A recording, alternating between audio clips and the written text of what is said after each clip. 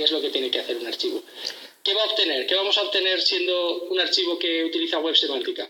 Lo primero, estamos abiertos a todo el mundo y yo creo que es, el objetivo o uno de los objetivos que tienen, quizás más el que está dedicado a, a bienes culturales, pero también, ¿por qué no?, con la nueva ley de transparencia y con todo este movimiento y esta corriente de transparencia que tenemos también el administrativo, ¿no? Al final queremos saber qué pasa con la información que tiene nuestra administración.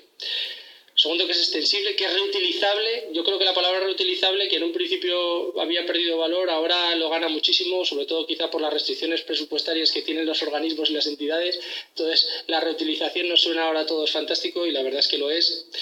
El multidioma, eh, lo, podemos ver en estas mismas jornadas y en general, yo creo que el, que el multidioma ya está a la orden del día y hay que manejar los términos ya no, ya no referenciados por un idioma, sino por todos los que nos relacionamos los, los humanos.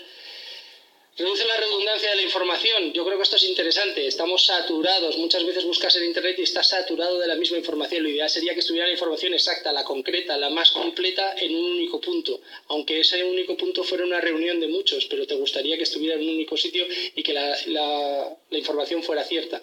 Eso es lo que es reducir la redundancia, que no haya 20 versiones de lo mismo, sino una única y verdadera completa.